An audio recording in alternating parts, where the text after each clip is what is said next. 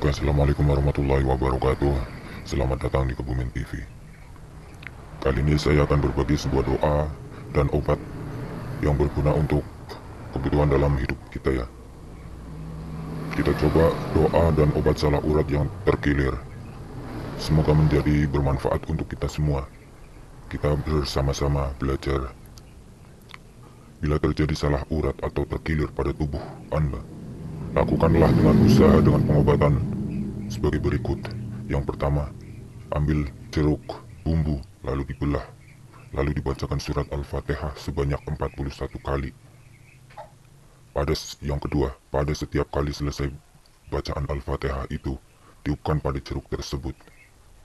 Lalu airnya diperas dan dioleskan pada tempat yang sakit ataupun yang terkilir sambil Anda memijat secara perlahan-lahan insya Allah akan sembuh dengan sendirinya.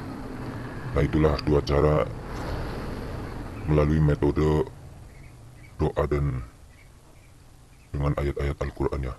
Semoga bermanfaat. Sekian dan terima kasih. Wassalamualaikum warahmatullahi wabarakatuh.